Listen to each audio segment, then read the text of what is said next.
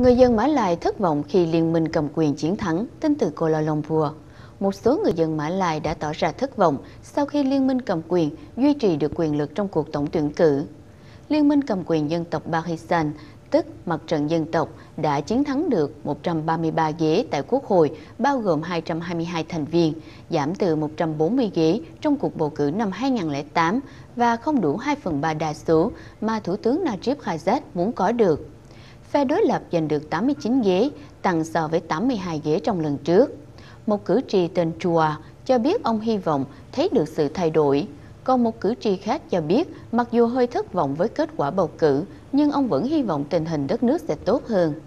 Lãnh đạo đối lập, ông Anwar Ibrahim đã tuyên bố rằng ông không chấp nhận kết quả bởi vì Ủy ban bầu cử đã không điều tra các bằng chứng gian lận bầu cử tràn lan.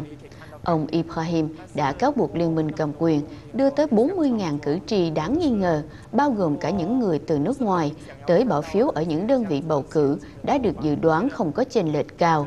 Nhưng chính phủ nói rằng họ đơn giản chỉ là giúp cho các cử tri trở về quê để bỏ phiếu.